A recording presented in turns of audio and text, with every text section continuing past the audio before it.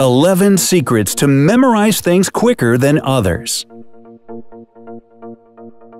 Have you seen the movie Limitless? I don't know, I forget. If you have, you probably remember the main character who found a special pill that allowed him to recall all experience and knowledge and use it whenever he needed to. if only this were true.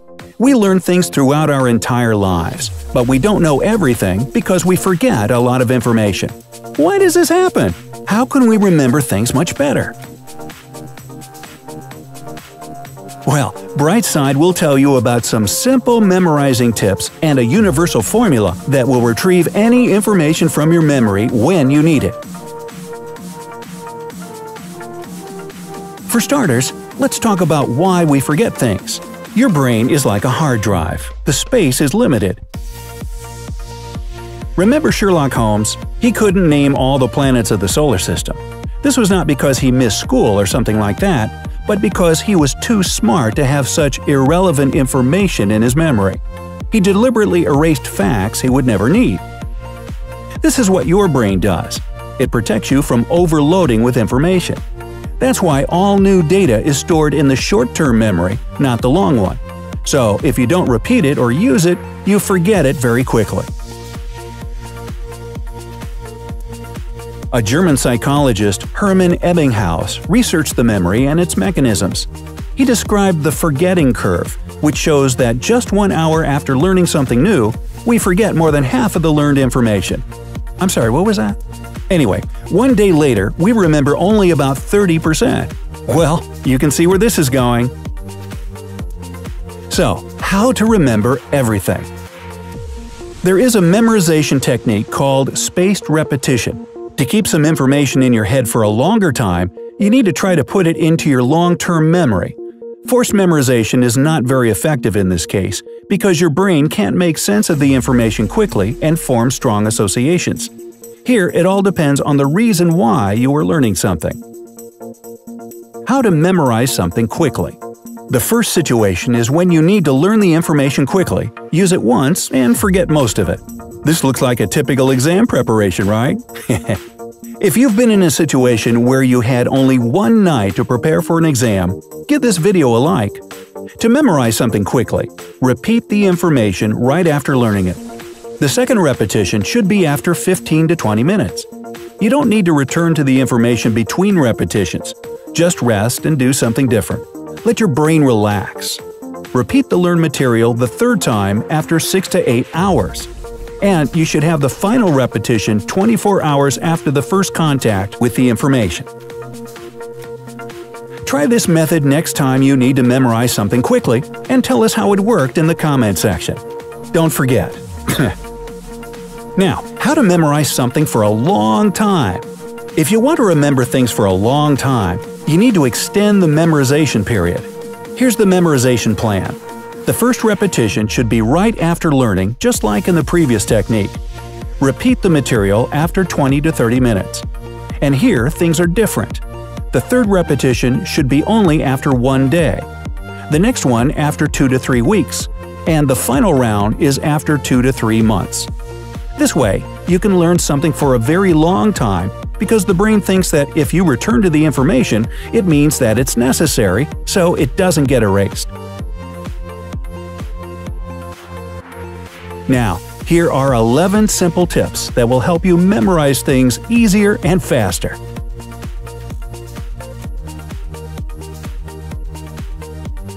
Counting down from number 11, try to understand what you learn.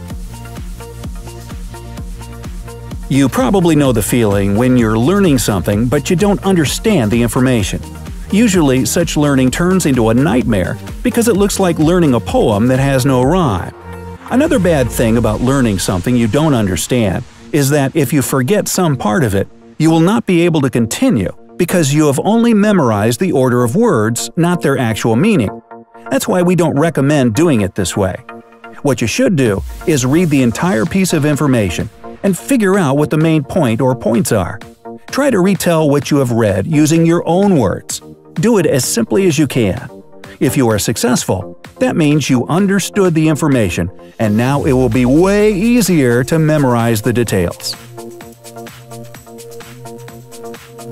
Number 10. Learn the most necessary information. If you feel like you have too much on your plate, set your priorities correctly. Decide what you have to know and what you can do without just fine. After that, focus on the key parts of what you need to memorize. If you find some time to devote to the less important information, great. Number 9. Serial Position Effect No, this is not when you position your Cheerios on the right side. When learning something new, remember this. Things that are at the beginning and the end are memorized the best. Use this effect to your advantage. Sort the information so that the key parts are at the beginning and at the end. Number 8.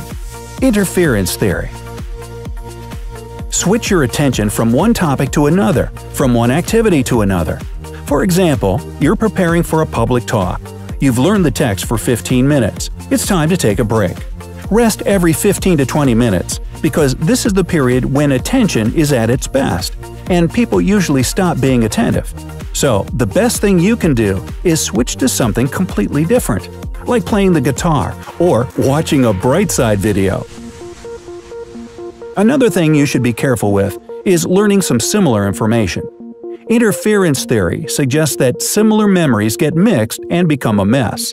That's why, if you know you're about to learn something that at least remotely resembles what you've already learned, we recommend taking a long break before starting something new. Number 7. Learn opposite things. Opposites are easily memorized in pairs. For example, if you're learning a new language, memorize day and night together. This way, you will build a connection between these two things in your mind. So, if you forget one of them, the second one will help you recall. Number 6. Build your own mind palace. And this is about Sherlock Holmes again. Do you remember how he could travel in his mind palace for hours looking for the necessary information? Get out, I need to go to my mind palace. The idea is to associate certain things with a certain place. For example, if you are in your room Try to connect the thing you are learning to something in your room. Repeat it a few times. After that, try to recall what the room looks like in your memory and repeat the things you learned this way. Or try this. Divide all the material you need to memorize into a few parts. Learn these parts in different parts of your apartment, or better, in different places in your city. This way, the memorized information won't be something dull or boring. It will be associated with some other memories, smells of places, people you saw there, and so on. Number 5. Use nail words. The point of this technique is to nail one learned thing to another. For example, if you need to memorize the French for nail, you should also look up wall, hammer, and other words you can logically connect to nail. Number 4. Make up stories. If you need to memorize a lot of information in a particular order, try to put the pieces into a story. It's important that the pieces are connected to each other with some kind of plot. So, if you accidentally forget something, you can always recall what was supposed to happen next in the story. Yes, this might seem like you need even more effort, but it's true. Believe us, it works wonders. Number 3. Use a tape recorder. Actually, does anybody use a tape recorder anymore? Well, record the information somehow you are learning and listen to the recording a few times. Yes, it might take you some time to get used to the sound of your voice, like I had to do. It might seem strange or unpleasant in the beginning. This method is handy because it allows all types of memory work. First, you read the information so you saw it with your eyes, and then you heard it with your ears. The more contact you have with what you are learning, the better you memorize it. Number 2. Visualize. Use your body language when learning. This will help you trigger your muscle memory. And number 1. Choose only the best materials. Don't use outdated books and methods of learning. Things have changed a lot since the books were written. Don't waste your time on something that may turn out to be wrong. Go online and check the most recent information on the subject. Do you know any other memorizing tips? If yes, share them in the comment section below. Like this video and send it to your friends. And of course, don't forget well, how can you forget anything after watching this video? don't forget to click the subscribe button to join us on the bright side.